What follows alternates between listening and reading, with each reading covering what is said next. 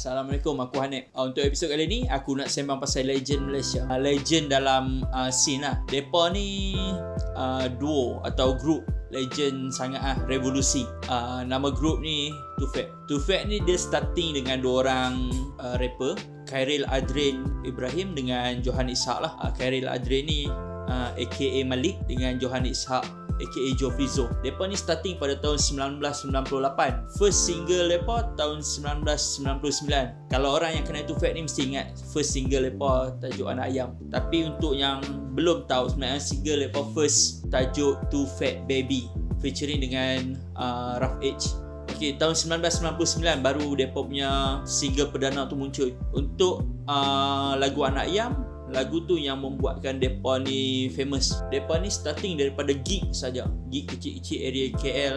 And then untuk apa yang tak tahu, gig-gig area KL ni yang organize ya, Kate Farish daripada kumpulan Rafish lah. So untuk Too Fat ni, kenapa aku cakap depa merevolusikan muzik hip hop. Dulu muzik hip hop ni dia main pada black music. Uh, black music senang habak dia ada unsur-unsur yang tak berapa bagus lah. So bila dibawa ke Malaysia Muzik ni persepsi orang. And then sebelum tu Fat sebenarnya ramai ya uh, Kumpulan hip hop atau rapper-rapper yang uh, sebelum tu Fat uh, Contoh uh, Poetic Emo uh, KRU For You To See Isi Mizal uh, Rifa. Tufek pun dalam golongan mereka kau tapi Tufek ni dia punya luck dia tinggi sikit. Lagu Anak Ayam tu meletup. Sebab mereka ni bagi aku mereka ni bijak. Rap English tapi bawa muzik Melayu. Dia, dia adun dia cantik. Album first mereka 1999 Water Daily. Album kedua mereka Plan B. Lepas tu Plan B Platinum Edition. Lepas tu album 360 360 Platinum Edition. Uh, klasik last sekali Rebirth into Reality. Uh, tu last lah. Rebirth into Reality ni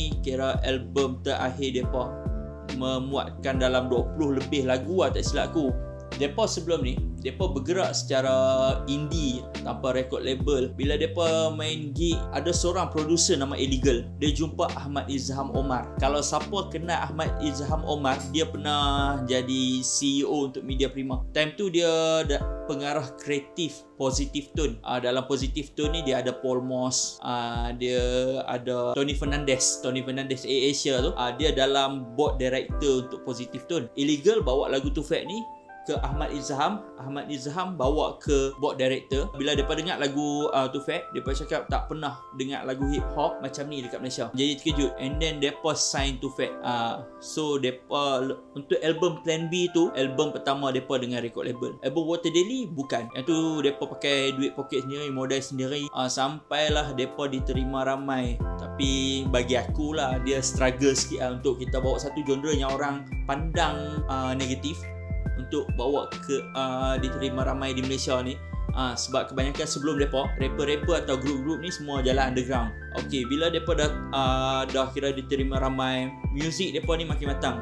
Starting dengan album 360 Kalau orang ingat lagu album 360 ni Ada satu single yang bagi aku Untuk rakyat Malaysia lah. Untuk aku sebagai peminat hip hop Single lah 50 tahun pun dengar tak cemuih Tajuk Alhamdulillah. Uh, Dia ada dua version. Version bahasa Inggeris untuk album 360 version bahasa Melayu untuk uh, Platinum Edition.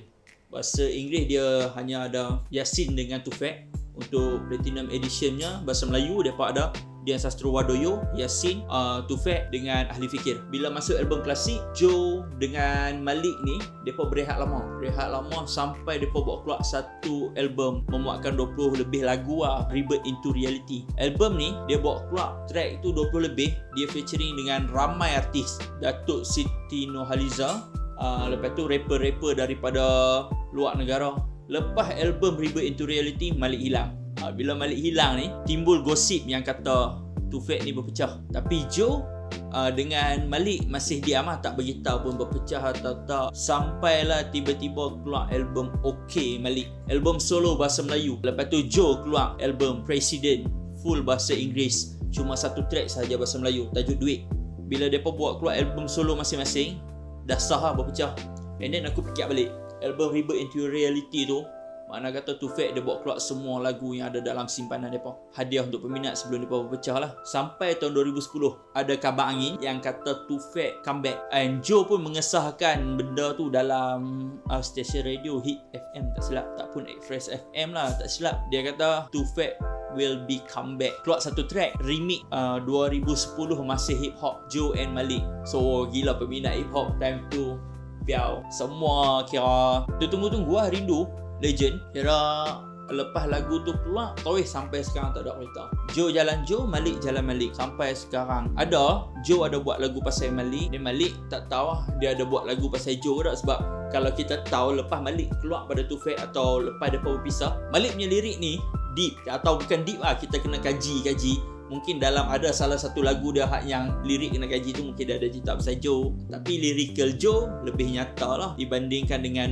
uh, Malik. So kita tahu yang tu dia tujukan kat Malik. Perjalanan cerita untuk duo atau kumpulan uh, Tufek ni bagi aku epic dia epic lah. Dia macam satu kisah yang kalau dibukukan atau difilmkan kembalikan nostalgia atau memori budak-budak hip hop. Itu je aku nak cakap hari ni. Mungkin next episode aku akan sembang benda lain pula. Ciao, jumpa lagi. Assalamualaikum.